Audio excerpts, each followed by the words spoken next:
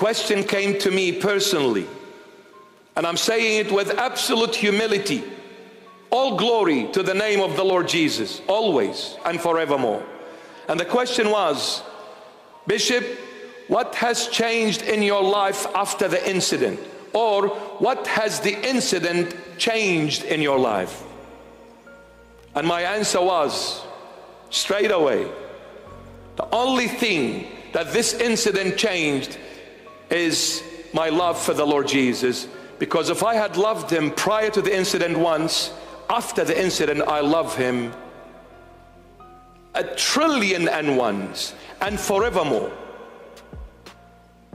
I love him more now.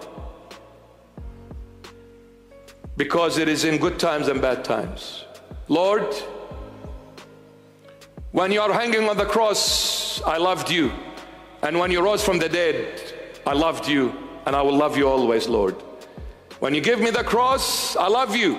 And when you give me your glory, I love you because I don't care about the suffering, neither the glories. I care about you. What matters is you. I don't care to go to heaven or hell. I want to be with you, Lord. So if I am with you and you take me to hell, so be it, because the place matters not. What matters is the owner of the place. I love you for you. Whether you do something or not, it's totally beside the point. I thank you for being you, Jesus. I love you for you. So, with two eyes, one eye, who cares?